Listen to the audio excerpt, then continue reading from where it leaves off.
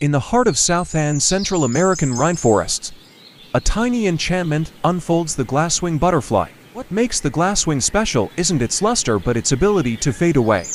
In a world where other insects gleam in the sunlight, the glasswing excels at being a master of disguise. Meet the glasswing's humble beginning. A caterpillar with an exoskeleton made of chitin, strong and flexible. But here's the twist, it lacks pigments, leaving parts of its wings colorless. The result is a transparent masterpiece that lets it disappear into the background, even in midair.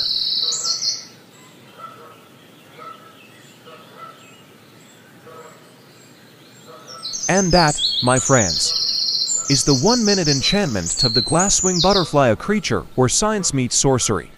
And magic happens in plain sight.